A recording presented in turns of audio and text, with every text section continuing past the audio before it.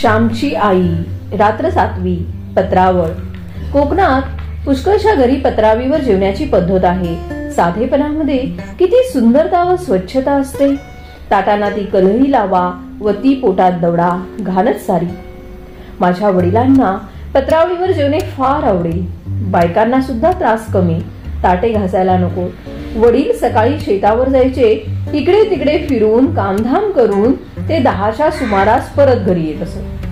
येताना फुले पत्रावळीसाठी पाने पुन्हा कुंब्याने दिली असली किंवा शेताच्या बांधावर केलेली असली तर भाजी असे सगळं काही घेऊन यायचे.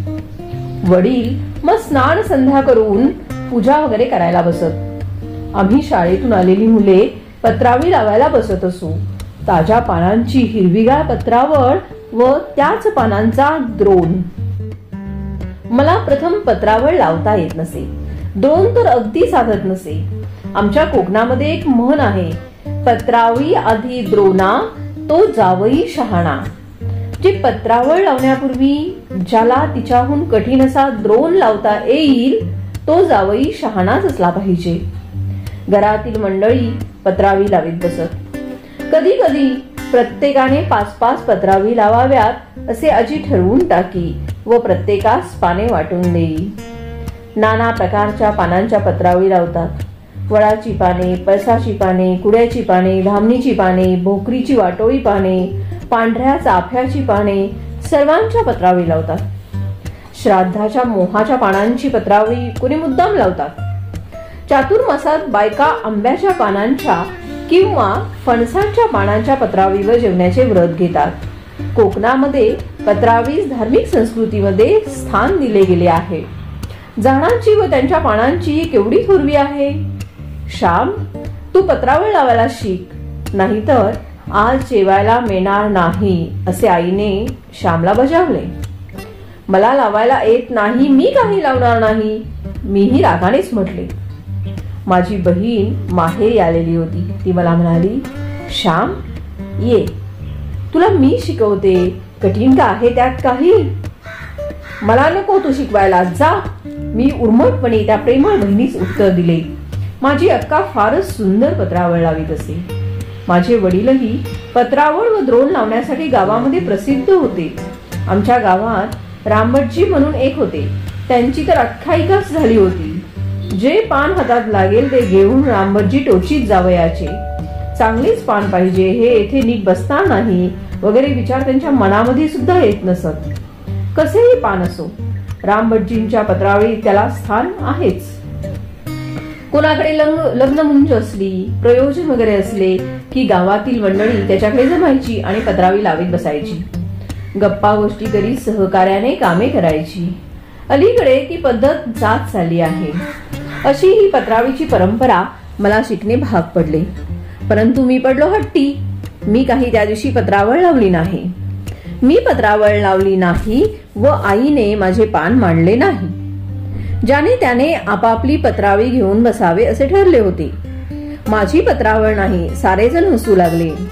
माझ्यासाठी माझी अक्का रदबदली करू लागली. उद्या लावशील ना पत्रावळ? उद्या शिक हा माझ्याजवळ. आई उद्या तो लावील हा. वाढ आज त्याला असे अक्का म्हणू लागली. परंतु आम्ही एरंडासारखे फुगलो होतो. मी नाहीच लावणार जा. नका वडू मला जेवायला. माझे अडले आहे खेटर. मी तसाच उपाशी राहीन असे रागाने म्हणत मी ओसरीवर गेलो. पोटात तर भूक लागली होती. कोणी आणखी समजूत घालायला येते का याची मनातून मी वाट पाहत होतो. शेवटी माझी थोर निरभिमानी अक्का तीच पुन्हा माझ्याजवळ आली. ती म्हणाली श्याम चल रे जेवायला. मी उद्या सासरी गेले की थोडीच येणार आहे समजवायला. उठ चल. लहानसे ठिकोळे लाव आणि त्यावर बस जेवायला. तीन पानांच्या पत्रावळीला ठिकोळे म्हणतात. चार पानांच्या पत्रावळीला चौफुला म्हणतात. पळसाचे मोठे पान असले तर एकाच पानावर आम्ही मुले जेवत असू. एकच पान पुरे होत असे. वाटोळी मोठी पत्रावळ तिला घेरेदार पत्रावळ म्हणतात. माझ्या वडिलांना लहान पत्रावळ आवडत नसे. चांगली मोठी गोलधार आवडत असे.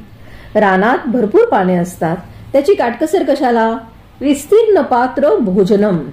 जेवायला मोठे पान घ्यावे असे ते म्हणत. अक्काच्या शब्दांनी मी विरघळलो. सासरी गेल्यावर ती थोडीच रुसणाऱ्या भावाजवळ आली असती. दोन दिवस ती आली होती तरी मी तिच्याशी नीट वागलो नाही. मला वाईट वाटले व डोळ्यामध्ये पाणी आले. अक्काने माझ्या हातामध्ये पान दिले. हे खाली आधाराला लाव असे ती म्हणाली. मी हातामध्ये एक चोय घेतली व टाका लावला. परंतु चोय फार लोचट होती व टाका तुटे ना. श्याम ही दुसरी घे चोय. ही चांगली आहे असे म्हणून अक्काने दुसरी चोर जुडीतून काढून दिली. कसे तरी मोठे मोठे टाके घालून मी ठिकोळे तयार केले आणि घरात नेले. ही माझी पत्रावळ. वाढ मला. मी आईला म्हटले.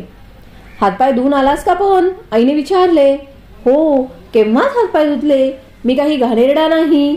मी म्हटले घाणेरडा नाहीस परंतु सुसू तर करतोच आहेस ना? नाक नीट शिंकरून ये तो मी इकडे वाढते आई म्हणाली. मी नाक स्वच्छ करून आलो व जेवायला बसलो. पोटभर जेव चांगला. उगीच हट्ट करतोस? तो शेजारचा वासू एवढासा आहे? पण कशी छान लावतो पत्रावळ.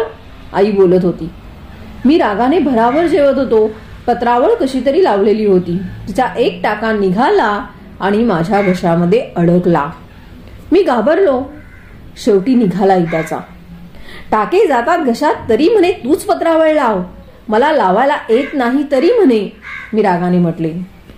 आमच्या घशात नाहीच जात रे. तू निष्काळजीपणे लावलेस याचे हे प्रायचित्त जोपर्यंत तू चांगली पत्रावळ लावायला शिकणार नाहीस तोपर्यंत तुझीच पत्रावळ तुला ठेवण्यात येईल आई म्हणाली. मी दुसऱ्या दिवसापासून चांगल्या पत्रावळी लावण्याचा निश्चय केला.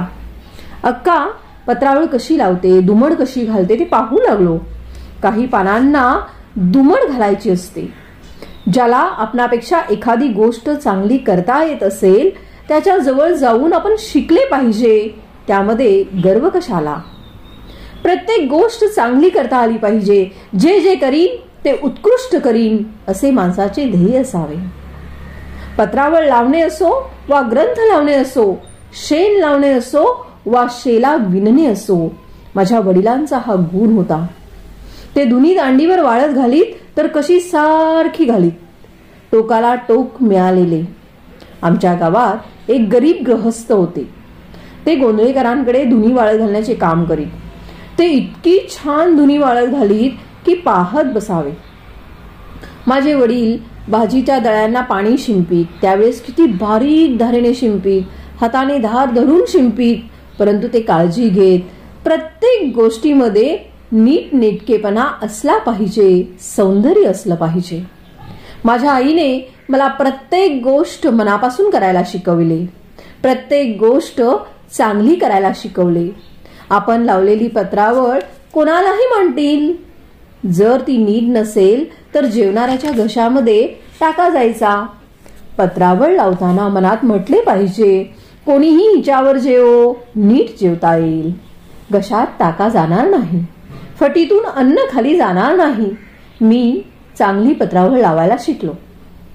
एक दिवस माझ्या हातची पत्रावळ मुद्दाम वडिलांसाठी मांडली. वडिलांनी विचारले चंद्रे तुझी का गही पत्रावळ? अक्का म्हणाली नाही ती श्यामने लावलेली आहे.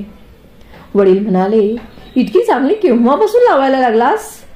आई म्हणाली त्या दिवशी जेवायला घातले नाही व तू चांगली पत्रावळ लावीपर्यंत तुझी तुलाच घ्यावी लागेल असे सांगितले म्हणून नीट शिकला लावायला. मी आईला म्हटले आता मागची कशाला सांगतेस ग? भाऊ आता चांगली येते की नाही मला? आता काय सुंदरच लावता येते. पण द्रोण कुठे लावता येतो? वडील म्हणाले द्रोणही मी लावून ठेवला आहे.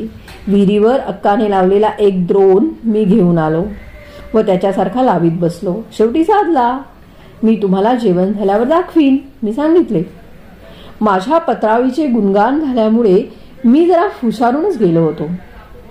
जेवण झाल्यावर मी द्रोण वडिलांना दाखवला. चांगला आहे परंतु येथे चुकला. समोरासमोरचे कोपरे सारख्या दुमडीचे हवेत असे म्हणून त्यांनी सुधारून दिला. मी तो सुधारलेला द्रोण आईला नेऊन दाखविला. आता कोण रागे भरेल? उगीच हट्ट करतो. मला हे येणार नाही मला ते येणार नाही म्हणतोस. देवाने ज्याला हातपाय दिले आहेत ना त्याला सारे काही करता येते. मनामध्ये फक्त हवे. चंद्रे याला एक जर्दाळू दे. शिकल्याबद्दल खाऊ. आईने सांगितल्याप्रमाणे अक्काने फडताळातून एक जर्दाळू मला दिला. तो किती गोड लागला. समुद्रमंथनानंतर देवांना अमृतही तितके गोड लागले नसेल. गोडी वस्तूत नसून वस्तूसाठी केलेल्या क्षमामध्ये आहे. कर्मामध्येच खरा आनंद आहे.